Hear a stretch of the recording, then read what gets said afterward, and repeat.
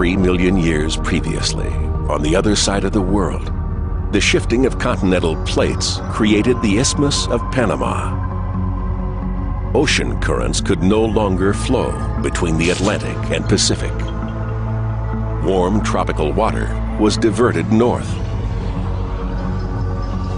At the time, there was no ice at the North Pole. It was cold enough, but the air was too dry for snow to fall. But when warm, wet air from the tropics reached the Arctic, clouds started to form. Snow fell, and an ice sheet began to grow.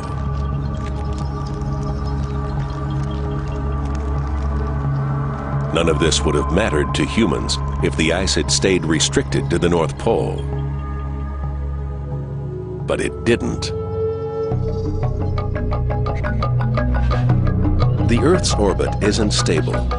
Over thousands of years, tiny wobbles change the amount of sunlight reaching the planet's surface.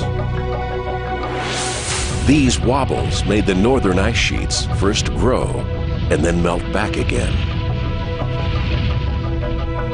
Since the Ice Age began two and a half million years ago, they have pulsed back and forth over 30 times.